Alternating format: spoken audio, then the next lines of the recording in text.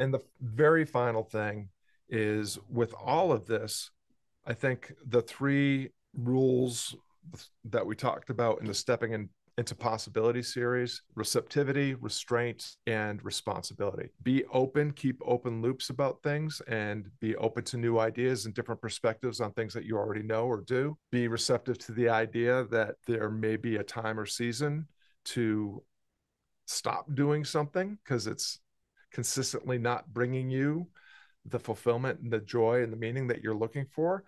And it may may very well reemerge when life is really calling you to do that thing. Show some restraint. If you're going to establish a frequency then establish a frequency stick with the fr- frequency and don't get distracted by all the shiny objects and tactical quick fixes and then responsibility like take responsibility for your journey. You you only possess control over two things how you see things and what you decide and do next your actions if you accept that you will soon learn that that's all you need to live a purpose driven, fulfilling life. And instead of chasing and attaching to expectations and outcomes, you will find that they just naturally emerge from the things that you're already doing.